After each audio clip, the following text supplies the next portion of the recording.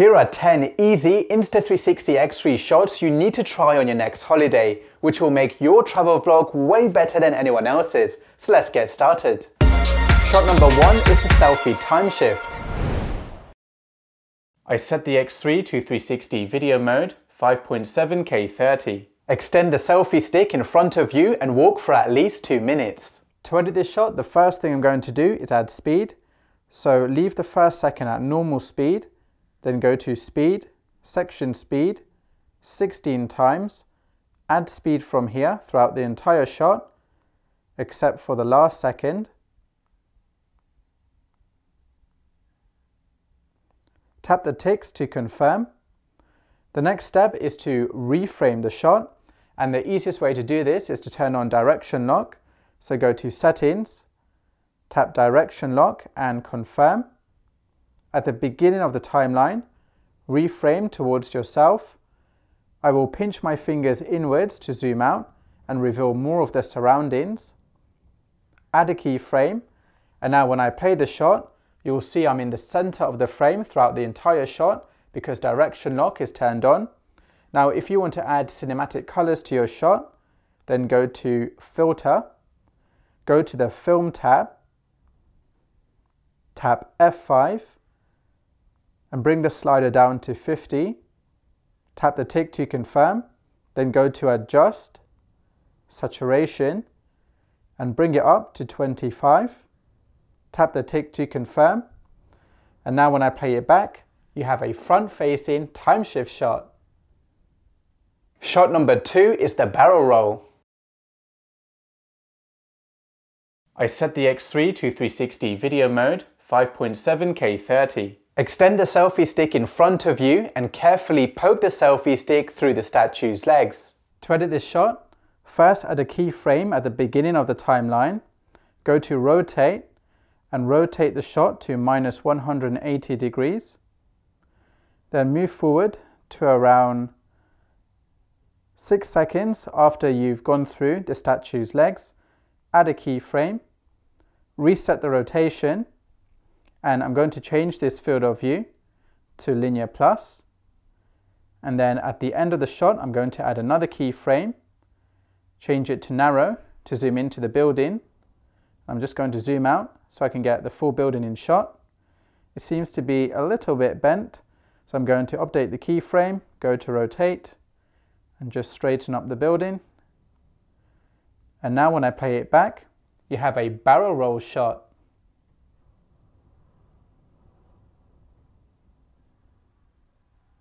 Shot number three is the ferry time shift.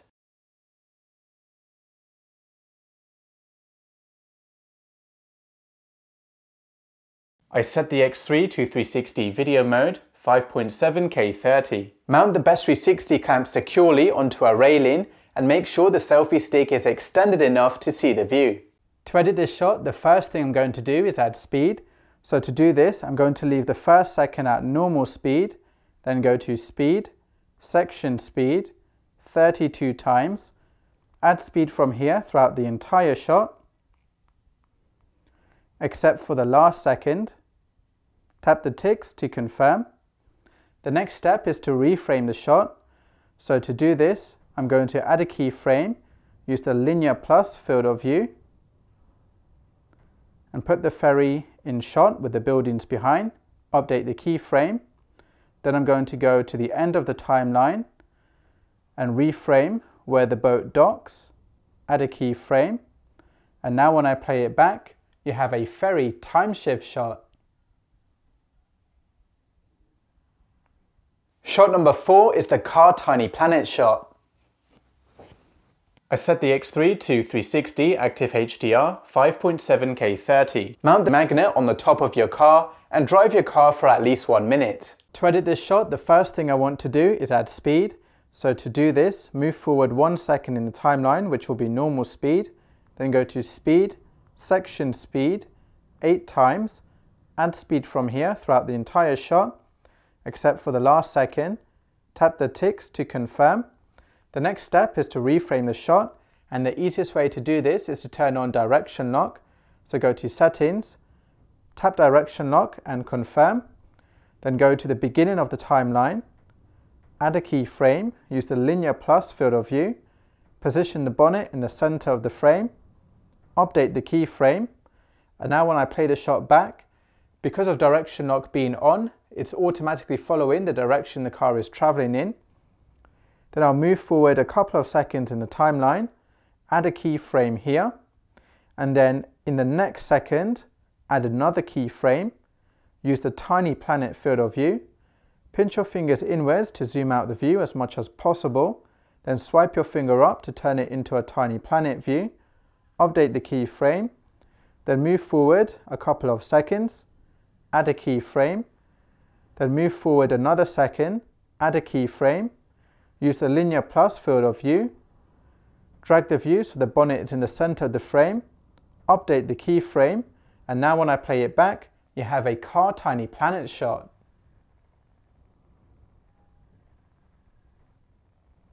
Shot number 5 is the boat time shift.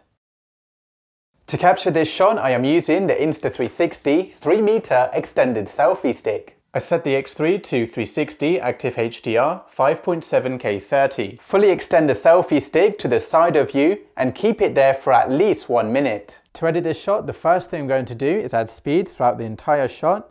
So to do this, go to speed, four times, and tap the tick to confirm. Now I'm going to reframe the shot by adding keyframes. So at the beginning of the timeline, add a keyframe, and I'll pinch my fingers inwards to zoom out.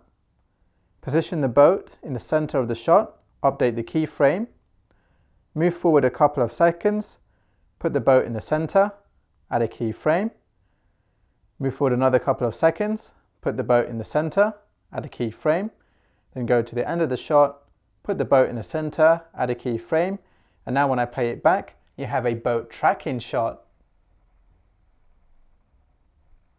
Shot number six is the backpack shot. I set the X3 to 360 video mode, 5.7K 30. Place the selfie stick into the backpack and lock it into place. Extend the selfie stick, wear the backpack and secure the chest strap, then walk for at least a couple of minutes. To edit this shot, the first thing I'm going to do is add speed. So to do this, I'm going to move forward one second in the timeline to keep it as normal speed. Then go to speed, section speed, 16 times, add speed from here throughout the entire shot, except for the last second. Tap the ticks to confirm. Then go to the beginning of the timeline and the next step is to reframe the shot. The easiest way to do this is to go to settings and turn on direction lock. Then go to the beginning of the timeline. Pinch your fingers inwards to zoom out and show more of the surroundings. Make sure you're facing forward, add a keyframe, and now when I play it back, you have a backpack shot. Shot number seven is pan. To capture this shot, I am using the Insta360 3 meter extended selfie stick. I set the X3 to 360 video mode 5.7K 30. Fully extend the selfie stick in front of you and slowly move the selfie stick from left to right. To edit this shot, I'm going to add keyframes. So at the beginning of the timeline, I'm going to face the pool and add a keyframe. Then I'll go to the middle of the shot to look at myself and add a keyframe. Then I'll go to the end of the shot, look at myself, add a keyframe, and now when I play it back, you have a pan shot. Shot number 8 is low angle.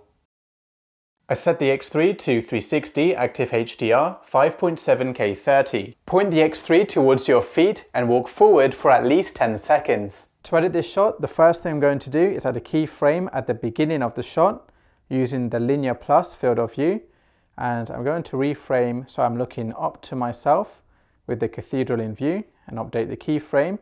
Then I'll go to the end of the shot put myself in the center of the frame, add a keyframe, and you now have a low angle shot. Shot number 9 is the kayak tracking. I set the X3 to 360 video mode, 5.7K 30. Mount the clamp on the side of the kayak and paddle for at least 10 seconds. To edit this shot, I'm going to position myself in the center of the shot, add a keyframe, then go to the end of the shot, pinch my fingers inwards to zoom out and reveal more of the surrounding, add a keyframe, then go to the middle of the timeline, add a keyframe when I'm in the center of the shot, then go between the first and the middle keyframe, position myself in the center and add a keyframe, then go between the middle and last keyframe, position myself in the center, add a keyframe, and now when I play it back, you have a kayak tracking shot. Shot number 10 is the sunset. I set the X3 to 360 interval mode, resolution set to 18 megapixels, interval 3 seconds. In exposure settings I am using manual mode, ISO 100, white balance 5000 Kelvin, the shutter speed set to 1 over 2500th of a second, and INSP plus RAW. Place the Best 360 monopod near the edge of the cliff and wait around 45 minutes to an hour for the time lapse to complete. To edit this shot, go to Edit, Shot Lab, scroll down to the Starlapse Shot Lab, tap it, use this theme, tap your sunset shot, go to Next, and now wait for the AI to finish processing the shot. Once the sunset shot has been processed, tap Edit Further, tap the tick for reframe. Now because the shot is 18 seconds long, let's make it shorter for an Instagram reel. So go to speed, entire clip, and let's make it two times faster. Go back. The next step is to change the aspect ratio for an Instagram reel. So go to ratio and choose 9 by 16. Finally, let's reframe the shot. So go to reframe and choose the linear plus field of view and I'm going to start on the left hand side of the cliffs, update the keyframe. Then I'll go about halfway into the shot to face the sunset. Add a keyframe here. And now when I play it back, you have a sunset shot.